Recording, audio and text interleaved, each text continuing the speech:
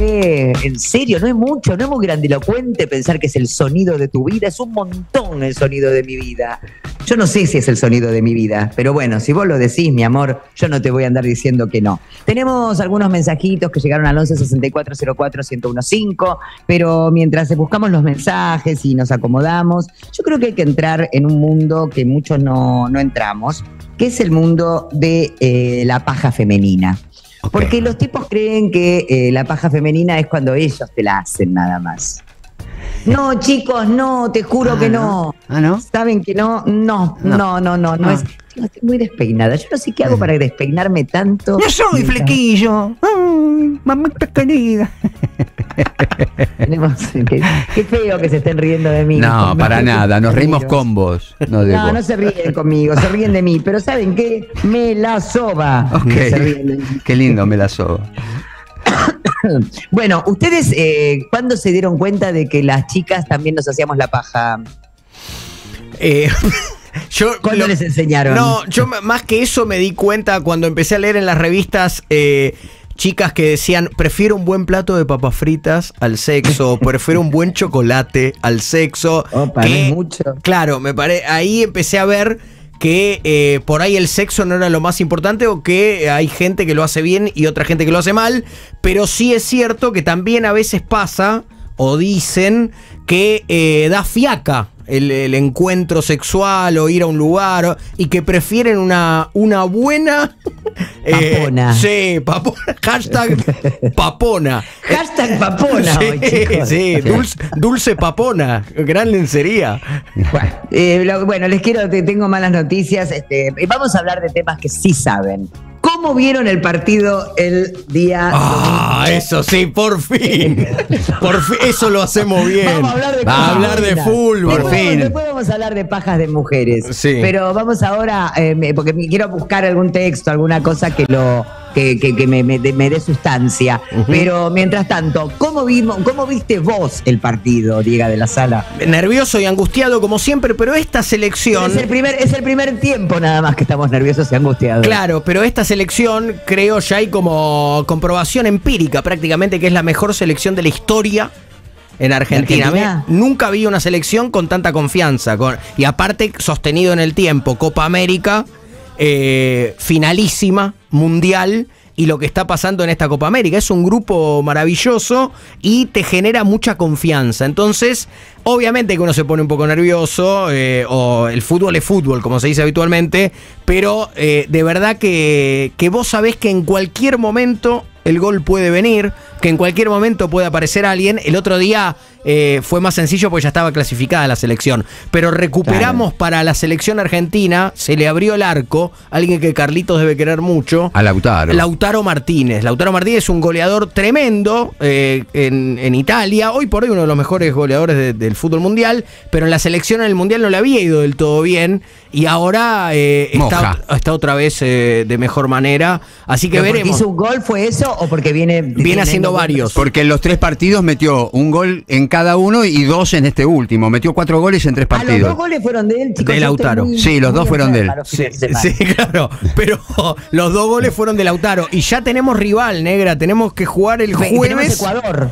El jueves contra Ecuador, sí. eh, Y es un buen equipo Ecuador porque le, le ganó a Canadá. ¿A quién le ganó? Sí, no, ayer empató con México, por ejemplo, México. todos se aprovecharon de Jamaica, viste que el jamaiquino sí va distraído. No, anda, Dale, pasala, pasala. anda a preguntarle lo que es el Pasala, offside. Claro. pasala. Pero eh, cuando vos ya entras en cuarto de final, obviamente que no va a haber rivales muy malos. Es bueno Ecuador, pero es un rival jugable. Y si Argentina pasa a semifinales, va- eh, va a jugar contra el ganador de Canadá y Venezuela. O sea, también sería una llave. Ah. que- Viste, es una llave que, que puede ser. Hay que jugarla. Y en la puede- final, ¿qué te puede tocar? ¿Brasil y Uruguay? Brasil o Uruguay, por ejemplo. Lo Está- difícil. Hay mucha algarabía con Y Uruguay. bueno, lo- lo- el, el River Boca necesitamos. Sí, eh, Argentina y Uruguay son los- las selecciones que más Copas Américas ganaron, 15 cada uno. No, pero el River Boca para mí es Brasil. Sí. Uruguay es como jugar con mi hermano, como jugar a- entre hermanos. Sí, Sí, y cagarte bien a patadas también, ¿no? Claro, por- eh, pero se habla también de un amor no correspondido, futbolísticamente hablando, entre Uruguay y Argentina. Que eso se puede comprobar, que es que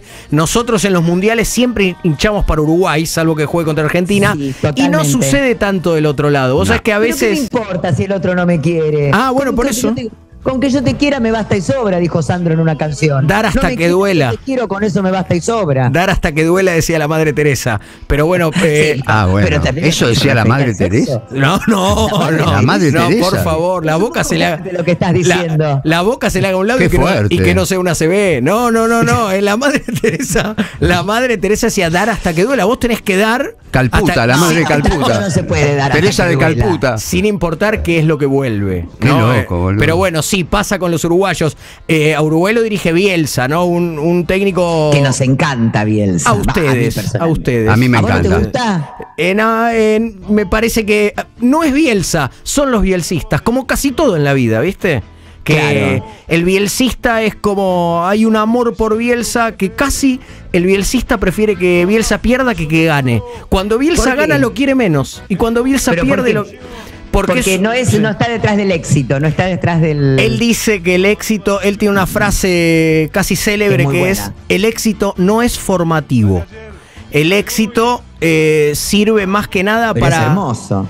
Sí, sí, pero esto ya habría que filosofar Bueno, más la sobre filosofía de deporte. Bielsa no es, no es, no Bueno, es llana, digo, digamos. eh, eh, eh, pensar en el éxito cuando Argentina sale campeón y estar toda la, la- la Argentina entera y unida por un ratito en, la, ca- en las calles, el éxito es importante y es, y es normativo también. Formativo O sea, que porque hay, formativo. hay, de- hay deportistas que son tan grandes también porque una vez que empezaron a ganar, eh, como que olieron sangre, ¿no? Eh, Federer y tantos otros. El pero mismo bueno, Messi. es como una vez, una vez que, te, que- que- que te ganaste no podés dejar de ganar. Sí, que, eh, te lo voy a resumir mal, pero si tuviera que, que decir cómo se lleva Bielsa con esto, los bielsistas me parece, y esto eh, por ahí es equivocado, pero más allá de que el éxito no es formativo, casi que hay un regodeo con la derrota.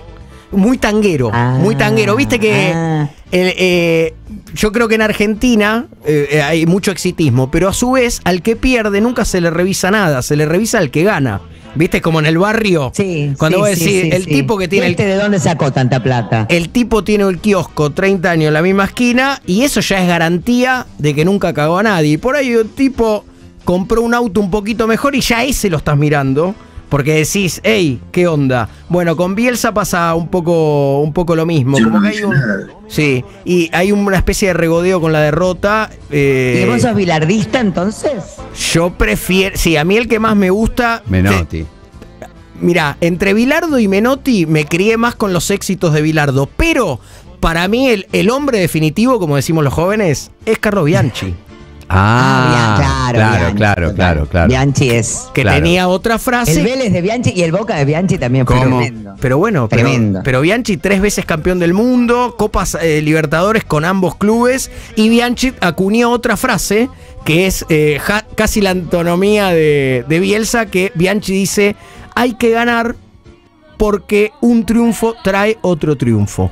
Bianchi, Total, es como la plata. Bianchi tenía para sí la idea de que si un equipo empieza a ganar, casi que atrae otra victoria y se va mejorando. Y que la derrota atrae otra derrota. Era, bueno. Lo un- que le pasa a la selección argentina, concretamente, que después de ganar salen a la cancha, pero se la comen. esa- Pero Y que- confían, no se la comen, no, no quise decir eso. Perdón. No, Pero bueno. vos viste la poronga que te crece cuando ganás. esa- bueno, y el temor de los rivales también. Todo ese. Claro, mirá ahí que lo- te como, nene, mirá que te como. Claro. eso lo decía. te cojo. Eso lo decía Menotti. El fútbol es un Bueno. estado de ánimo. Como la vida. Como la vida. Qué lindo todo lo que leíste sobre fútbol. ¿Veías eso nada más mientras te pajeabas? de Era chico? eso, era. fu- era fútbol y paja. Fútbol ¿Cuándo y vas a hacer el programa que a vos te. te- te- Sí. te- te- eso es tu propio espejo. fútbol No, no, no, ¿Cuándo claro. lo vas a hacer? Bueno, yo ya yo dije alguna vez que si existiera un libro de autobiográfico eh, se llamaría Paja y Molleja, una vida al límite. Entonces es, Paja y es, molleja. eh, es una parrilla, estás asa- la tapa es estás asando en un quincho. Por eso lo primero que dije, ¿no? Porque es un quincho con techo de paja.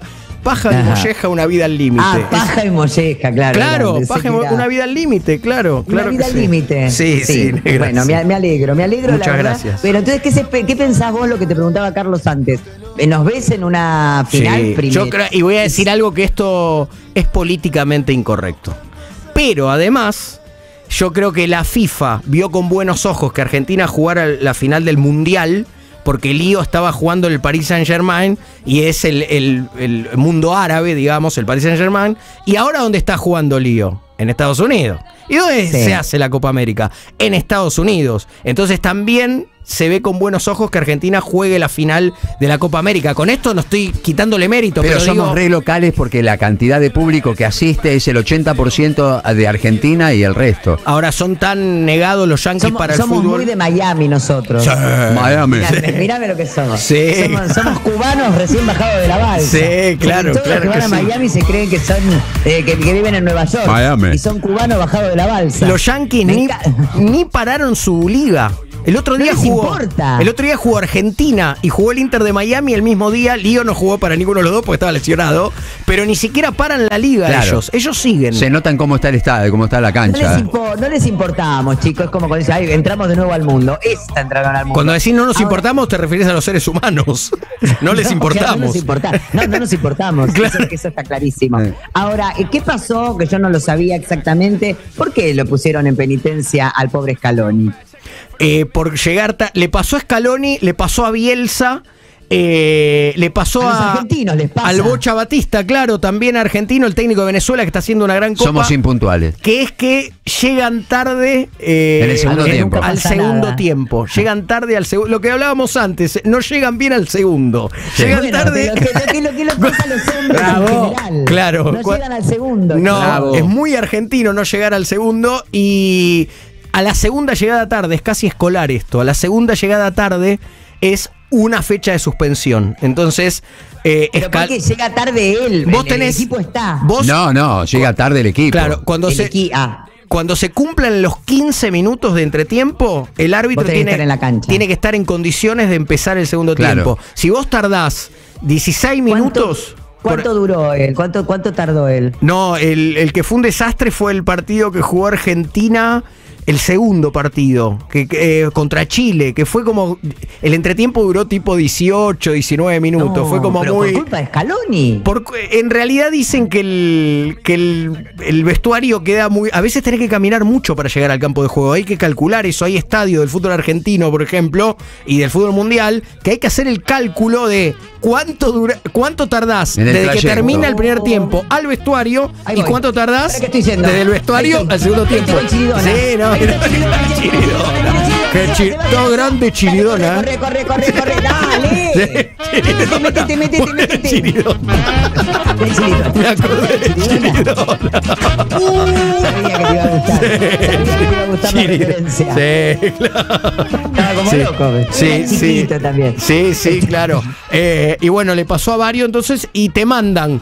No podés eh, ir, a la, a ir a la conferencia de prensa previa al partido el día antes, no podés dirigir al equipo y no, No. podés ir a la conferencia eh, post partido. Podés estar en la cancha. Hacemos un chachás también. Hacemos un chachás en la cola. ¿Qué es esto? Podés estar en la cancha, podés estar en la platea, pero no dar órdenes a, a tus colaboradores. Que ojo que lo Ni pueden- siquiera por teléfono. Lo pueden volver a sancionar al Bocha Batista, argentino, el técnico de Venezuela, ¿Por qué? ¿Qué porque lo engancharon en el. No podía estar, digamos, dando órdenes y se puso como se ponen los pibes ahora para jugar a, a la Play. se Sí, puso una sí. vincha con micrófono No, y ¿a quién le decía. hablaba? Y le, y le hablaba a los colaboradores que estaban Me abajo. dijeron que no, pero tuve cámaras en todos lados. Ay, Lo Dios. descubrieron, así que puede haber una sanción Ahora, todavía más severa. Hablemos un poco de algo que yo le- me da un poco de envidia. Yo no suelo ser envidiosa, no envidio para nada nada, pero la concha de su hermana, los tremendos eh, estadios que tienen. Y sí, y sí, sí, Eso claro. es tremendo, chicos. Pero si querés que se te vaya la envidia, mirá la liga que tienen otra vez. Hablando, eh, cuando ves jugar al equipo de Messi contra. Parece un mal torneo de intercountry.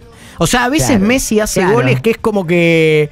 Que mira para atrás y dice. Y bueno, un poco de. dale, tipo, claro. Lo voy a hacer, ¿qué va a hacer? Claro, es ¿Qué como voy a hacer que. igual si total están tomando mate. eh, entonces, eh, desde, desde ese lugar no han crecido, pero tienen estadios, obviamente. no, pero no crecieron, pero porque no les interesa el fútbol a ellos. A ellos les interesa el fútbol americano. Y el básquet, la NBA y El tanta básquet, cosa. Pero esos Claro, estadios el- se usan para las dos cosas. Eh, Sí, sí, sí, son estadios que se No, no, usan. el estadio, el último, el, el que en el que jugamos el domingo, Es una cosa de locos, chicos. Sí. Techado, además con aire acondicionado porque hacía más de treinta y pico de grados.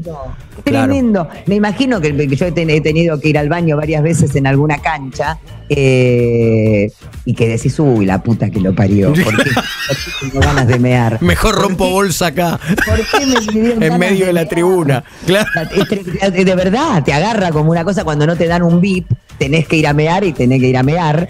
Eh, y vos decís ah, lo que deben ser los baños. No, Sí, no, sí.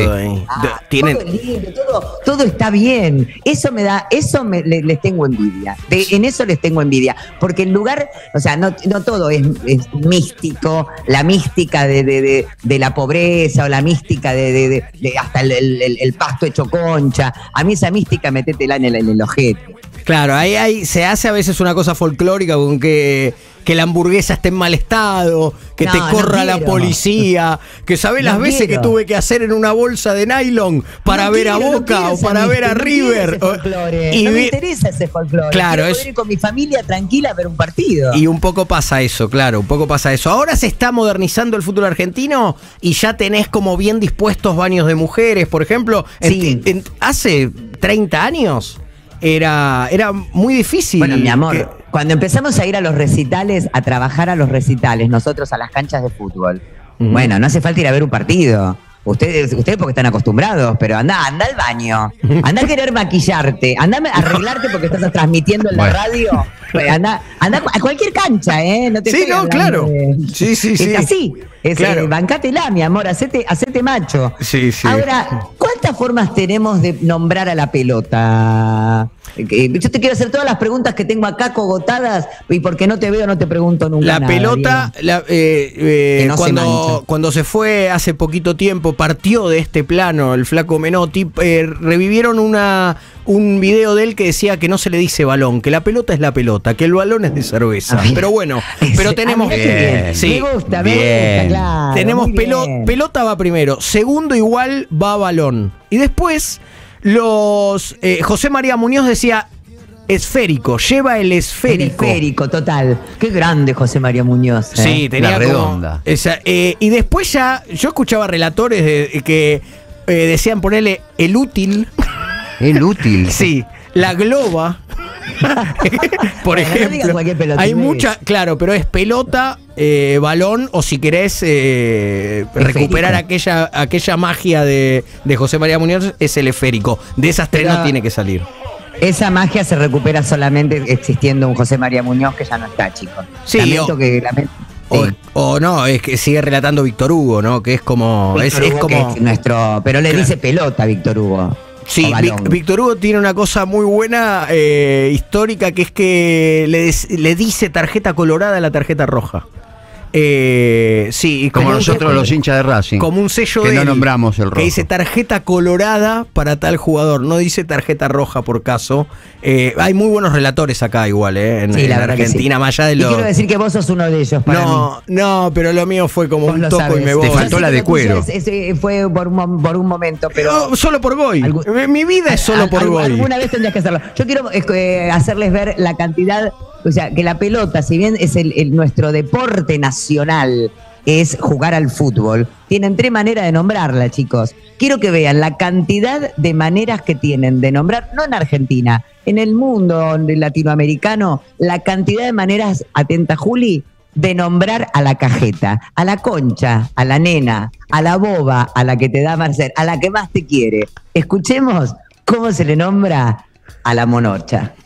El peluche, la cara pelúa, La panelita, sonrisa vertical, la siempre tibia, la mueca, la panocha, el monedero, panzerotti, chucha, el boquisalado, el machetazo, la tragona, el sapo, la morrocoya, la boquita mojarra, la chepacorina, la concha, el peluche, monocha pelúa. me reba, quiero verlo de nuevo porque hay, hay- hay algunos que me los quiero anotar. El hachazo, panocha el hachazo es buenísimo. El sapo me va.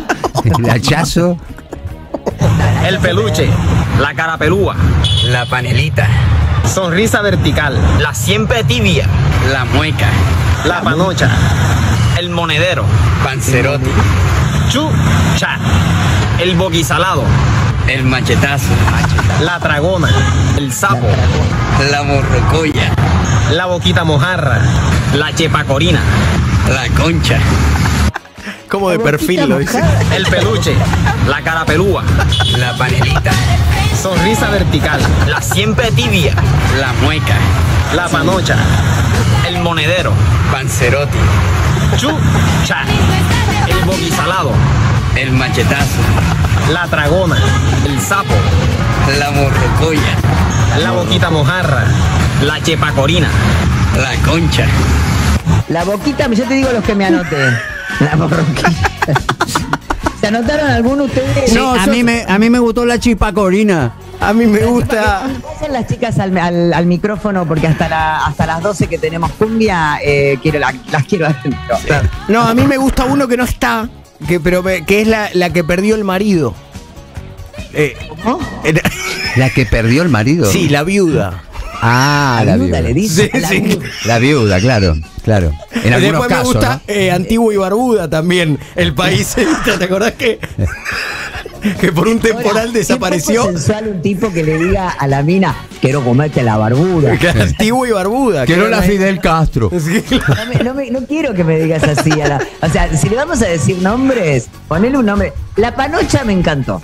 Sí. La panocha me parece que es un nombre que la lo podemos adoptar tranquilamente. Local gastronómico. La dragona, la La dragona es fuerte. La dragona es. Y el machetazo. El machetazo es tremendo. Es buenísimo, Pachetazo. La mojarra. Esa, esa es mi preferida, la boquita mojarra.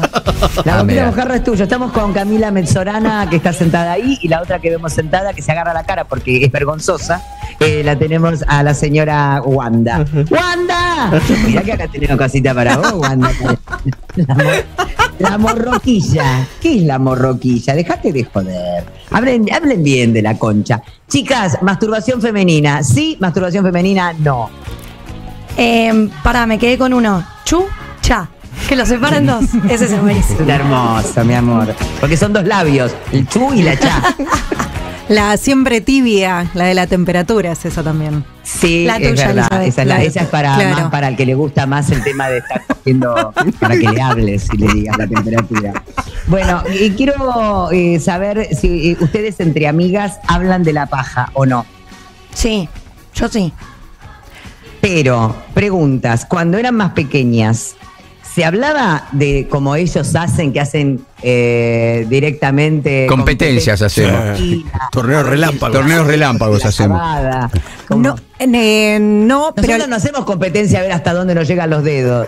Claro, no. Por el momento no. Yo lo que pensaba antes, hace un rato, es que también hay una cuestión generacional. Vos cuando dijiste lo de la muñeca y todo eso, yo me acuerdo que muy adolescente, eh, yo nací con el ICQ, ponele. ¿Qué es eso? Claro. Eh, la- ICQ. claro, las primeras redes sociales me tocó en, o sea, como que hago ese corte generacional. Eh, entonces ya había algo de la masturbación con otro. ¿Se entiende? Ajá. Un Claro. chat, una, una cosa así. Claro. O sea, no. No entiendo lo que estás diciendo. Que. La mm, masturbación no es con otro. No, pero por ahí estabas chateando con otro sin verte, sin video, sin nada. eh, y entonces como que por ahí te, te guiaba, te guiaba en una masturbación o algo. O sea, como que había un Qué otro. chachita que siempre me pareció. Para mí, no, para mí, no sé si te. Muy desviada. No Muy te. desviada. Porque es, es escorpiana, como todas las escorpianas desviadas. Mirá, con ICQ. No sé si te estás refiriendo a eso, Juan, pero para mí es esto de que no lo teníamos asociado como la mujer en su individualidad dando placer, o sea, para ella misma y que no sea siempre en relación con un varón. Para mí es Pero eso. ¿cómo no lo tenían? ¿Pero por qué no lo tenían incorporado? y porque para, para mí eso es reactual, es reactual, o sea, Pero el- ¿cómo, no- eh, pero ¿cómo va a ser reactual, chicas? Yo soy más Siempre grande que existió, y ya pero- me pajeaba. ¿Qué me estás diciendo? Claro, pero era un tabú, era un tabú. No se hablaba, boludo. Para mí no se ¿Cómo que hablaba. no? Yo con mis amigas siempre hablé de la paja. Hablábamos de cómo, de qué, de qué manera, de qué si así, qué te metías, qué no. Claro, pero lo que yo digo es que, por ejemplo, mi generación era más fácil por ahí, antes que hablarlo con tu familia o con hasta una amiga La que por ahí te da no la vergüenza. paja, No, por eso. qué- qué- perdóname, ¿qué clase de familia tenés? No, Juana? por ¿Cómo eso, por la eso. familia no se habla. No, no, no, por eso. No, no. con se la habla familia. con las amigas. Bueno, pero digo, cre- Con creo los que varones inclusive se es habla. que creo que antes, varones. creo que antes de amigas, creo que, por ejemplo, en mi generación tuvo que, por ahí hablabas con un desconocido del otro lado de la pantalla, chateando. chateando, y después pasabas por ahí a hablar con tus amigas. Che, chateé con este chabón y me dijo esto y Ah, esto, y ahí asquerosita. Re- retorcida, como bien lo dijo Diego de la Sala, desviada. Teníamos un país. desviada. Teníamos un Y- país. Pero eh, yo veo que Camila lo lleva más para el lado de eh, los derechos ganados por las mujeres. El derecho ganado, tenés que tener dos dedos Muy y feminista ella, muy feminista. Dos dedos, dos dedos y así, pasé dos dedos O así. sea, no, no, no había tanto, No. sí, el feminismo era algo que existía, obviamente, y las grandes mujeres siempre estuvieron, siempre marcaron a, a quienes teníamos ganas de mirarlas, nos marcaron el camino. O sea, no era algo tan, tan generacional y tan, un cambio tan profundo como hoy. Eh, no estaba ahí para, para todo el mundo, sino para el que lo quisiera ver. Pero de esto siempre, si vos querías, se hablaba, se tenía en cuenta. Yo que fui a un colegio con varones, lo charlábamos con los varones. No, no, O sea, yo disiento totalmente. Pero mi generación, al menos mi, mi caso, para mí, yo entiendo tu, tu lado. No, yo te digo lo que a mí me pasó. Claro, Yo tu caso que personal, pero- Digamos, yo hablo de mi caso, de mi caso Sí. personal y el de chicas que me acompañaron en esa etapa de nuestra adolescencia. Sí, no, mi no, generación no, no para mí no. sola. Mi generación para mí no, se habló mucho más tarde. Yo hablé con mis amigas mucho más tarde de, de masturbación, de. Pero eran bastante pelotudas, disculpame, ¿qué edad No, pero no porque no, no el hacerlo, sino el conversarlo, el comprarte un juguete Sí. sexual, el decir, hablar de eso. Para mí fue mucho más tarde. Estaba como, no estaba tan, no se charlaba. En el colegio tuvimos me- ese y nadie habló de eso. ¿Me estás jodiendo que Te tenían juro. ese y no hablaban después de eso? ¿Qué les, creo, ¿qué les daba miedo? A ver, pensemos entre eh, dos minutos que- tenemos para pensar. Es que me parece que era más el tabú, porque pasaba. Dos minutos. Dos minutos sería un montón, te digo la verdad. Dos. Es que por ahí pasabas de hablar del chape al garche, ¿entendés? Como había algo ahí intermedio que no, no sé si se Pero hablaba no tenés tanto. que hablar del chape o del garche. Yo digo, la masturbación está, es, es una cosa con uno mismo. No, No, tiene que eso ver sí, eso sí, Pero es que para mí muchas mujeres, muchas mujeres que no disfrutan o que no disfrutaban de el, el sexo con un varón es porque ellas no estaban, como no se masturbaban, no sabían qué era lo que les gustaba, entonces no saben qué decirle al otro, cómo guiar ni qué hacer porque no tenían incorporado la masturbación que sería como el paso previo a después Total. encontrarte con un otro. Y eso para mí no pasaba antes. Qué loco. Qué loco, chicas, no sé que fueron a un colegio de. Yo, yo ahora me estoy sintiendo medio mal. ya sabemos cómo sos vos, Elizabeth. Sí, bueno, pero lo que me estoy dando cuenta de que yo no me. Yo era así ya desde muy chiquita. Y sí, estabas con la digamos, y me- y me- muñequita. Y me- no, no, no, yo nunca tuve muñequita chica, yo tenía bebé, lo- lo- lo- yo jugaba con birlón, yo no soy de la época de la de las este, Barbies, Barbies. que te las podías meter en la concha si querías, no, no, no soy. Ah, mira. No sabía que le daban ese uso. En la película no Pero, hablan de y- eso. ¿Y no. Ken qué? Ken, Ken por qué- cola, Ken por cola. Ken qué era, verdurita. Que nunca nada. Que nada. Que nunca Pero, nada, pero, para mejor eso. meterte Kent que una, una Barbie, porque la Barbie es peludita. Por el pelo. La por el pelo. Mejor meter- meterte un Kent. Pero bueno, no vamos a hablar de eso. Y te lo sacas con las patitas. O sea, Bueno, chicos, no se puede hablar de nada. De acá me sacan con las patas para adelante, decía Ken. Así no se puede jugar. ¿Saben qué tenemos que hacer? La. La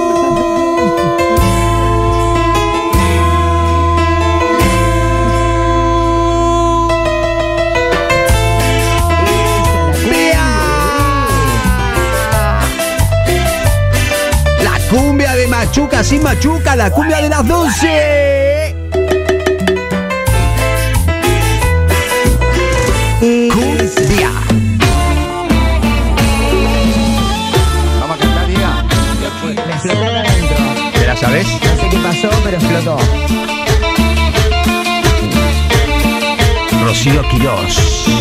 Como nos gusta, Rocío Quiroz, amor de la salada, chicos. Tiempo, te noto distinto. Hace ya bastante que no sos el mismo. Píntale. La- los, los que bailan, mami. Ya, pero falso como chino negro. No voy a negar.